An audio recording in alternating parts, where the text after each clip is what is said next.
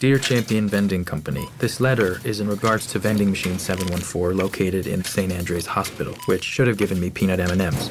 Regrettably, it didn't. The machine over there, my candy's stuck. It happens sometimes. I found this upsetting as I was very hungry, and also my wife had died 10 minutes earlier.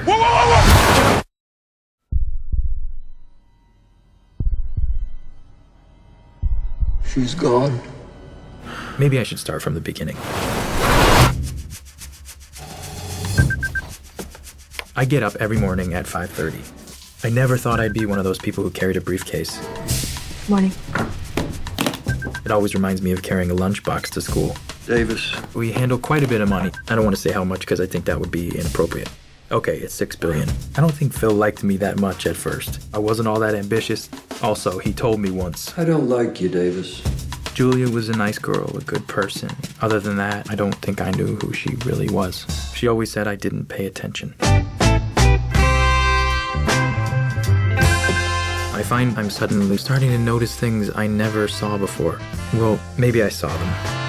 I just wasn't paying attention. There's been time in my life. Phil said it himself. If you want to fix something, You have to take everything apart. and figure out what's important.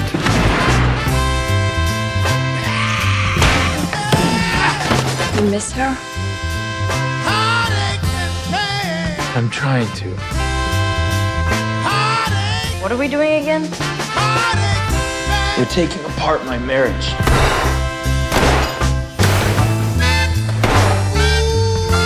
There was love between me and Julia. I just didn't take care of it.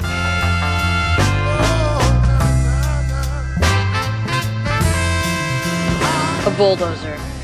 Yeah, you can buy almost anything on eBay.